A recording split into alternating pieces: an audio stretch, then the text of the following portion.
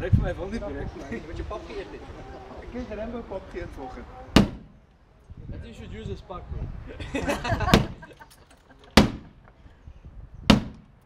Best wel ons hard joh. Ik denk hij is zo goed genoeg. Look, uh, eh, ehm, well, hopefully it's, it's going to break. Hopefully it's going to break.